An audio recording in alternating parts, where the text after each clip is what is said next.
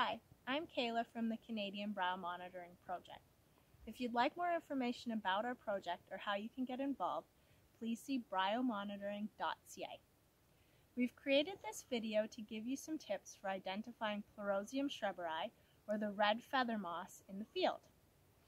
So we're going to look at the moss from a distance, some of the general characteristics, and then we're going to focus closer in and look for the more specific things to look for when you're identifying this moss.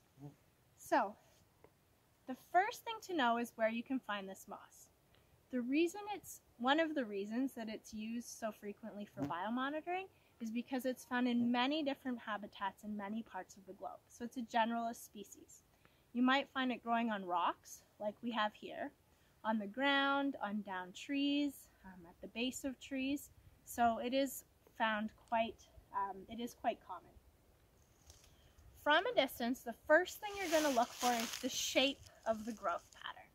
So Pleurozium will grow in this big carpeted or mat formation. Um, sometimes there'll be different species of moss interspersed, but will generally take over a nice large area. Um, we've got a nice clump here at um, Bryomonitoring Canada, we would refer to this as a moss beard. So we want to look for a nice big moss beard when we're doing sampling. The next thing to look for is the color. So like most moss, it's green, um, but it also has this golden or light green tinge to it. And some of that golden color, it might even look a little bit orange, is coming from this red stem that this moss has. So we want to look for that big carpeting mats and then this golden kind of yellow-green color to get us started. Then we can look at the moss more closely. So if you pull out some of the individual stems, like this one I have here, get some of this junk out, they can actually be quite long. So this one is about the length of my hand, but they could be shorter, they could be a little bit longer. There's a little piece that's broken off. And another one there. The next thing that we look at is the branching pattern. So we'll take this piece as our sample. From the main stem, you'll see the branches coming off at a 90 degree angle from that main stem.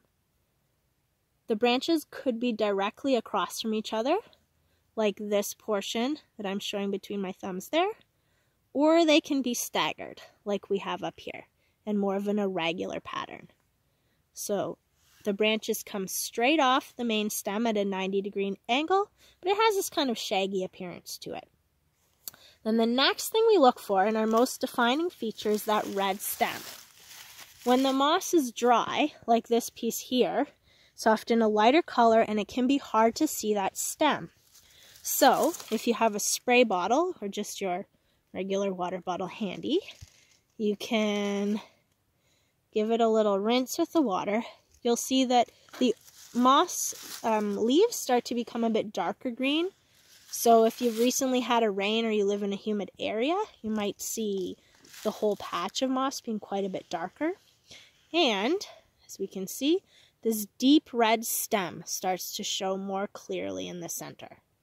So that's what we're looking for. There are some similar species to Pleurozium, particularly in wet areas, but they won't have this defining red stem in the middle.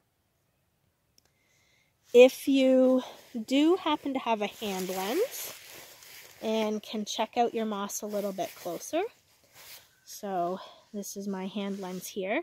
So if you have one of those and you can take a look at the leaves, um, you'll see that they're somewhat translucent, so you can see through them a little bit and they also form a really cupped shape.